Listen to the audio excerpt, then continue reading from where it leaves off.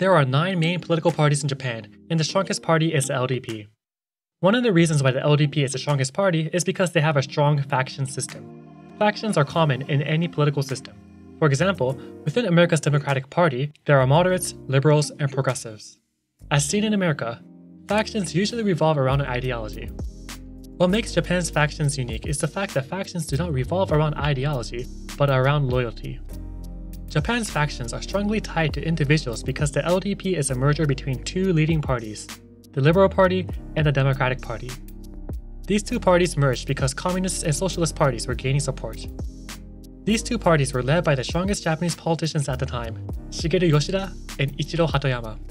Strong leaders and followers result in different support groups, and as time passes, slight interpretation and vision differences result in different camps.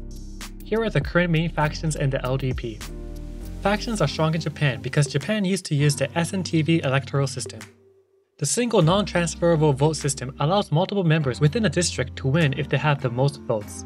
For example, if a district allows three candidates to represent their district, the following candidates can win because they have the most votes. This system inadvertently strengthened factions as LDP members would run against one another. Japan's electoral system was changed, so Japan does not use SNTV anymore. Nonetheless, this system has cemented the importance of factions in LDP politics. One of the main reasons why factions are important is because of political support. In order to become the Prime Minister of Japan, you must become the leader of your ruling party. In the LDP, there is an inter-party rule to elect a new leader every three years. Each leader is allowed to serve three terms, which means a total of nine years.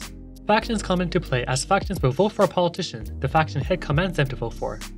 Therefore, it becomes important for potential candidates to reach out to different factions in order to receive their support prior to the actual inter-party election. Let's look at the most recent inter-party elections to see how factions played out. In 2021, when Suga stepped down, Kishida, Takaichi, and Kono were the three front-runners. Although Kono is from the Aso faction, Kishida was able to get Aso's support, which led to his victory. Although Abe supported Takaichi, Kishida's career length and moderate tone convinced other LDP members to vote for Kishida. In a way, Japanese politics is similar to high school student council elections. The most popular kid, or the friend of my friend, gets elected to represent the class. You'll have a few kids who vote based on the speeches, but most kids have already made their minds prior to the campaign. Now that Abe is gone, Kishida's position on defense and constitutional revision may attract some Abe faction politicians to swing their support towards him. Of course, there are conditions attached to support. It is expected that the Prime Minister chooses ministers from the factions who elect him or her into office. For example, the Kishida, Aso, and Motegi factions are the three main factions that sustain the Kishida's administration. Kishida leads the party, but is expected to take Aso and Motegi's ideas into serious consideration. And just like factions can build a leader, they can destroy leaders as well. Just recently, on January 10th, former Prime Minister Suga questioned Kishida's leadership. Suga claimed that Kishida should leave his faction in order for him to not be heavily influenced by faction politics. As a matter of fact, former Prime Minister Koizumi and Abe left their factions when elected as Prime Minister. Suga further argued that Kishida is more influenced by factional politics than what the citizens want, which is more than a jab at the Prime Minister.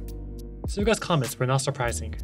Kishida's approval ratings are at the lowest, and his comments on taxes have angered and confused citizens and LDP members. There are two takeaways from Suga's recent comments. Number one, there is enough support behind the anti-Kishida movement. It's a political suicide for Suga to publicly challenge the prime minister without political backing. Kono Taro is extremely popular among Japanese citizens, and he has been the citizens' number one choice for prime minister for the past two years. Perhaps there are enough people who will swing behind Kono. Or perhaps Suga himself has enough support so that he can take down Kishida. Number 2 there is a huge concern among LDP politicians regarding the upcoming elections. In April, there are regional elections to elect town representatives all around Japan. Given that Kishida hinted at raising taxes amidst inflation, perhaps LDP members are afraid that they will take a hit in April. The next leadership elections will take place in 2024, so it'll be an interesting year to see whether Kishida can maintain support within his party. Do you think Kishida can survive well beyond 2024? I would love to hear your thoughts, so leave a comment below and subscribe to learn more about Japanese politics.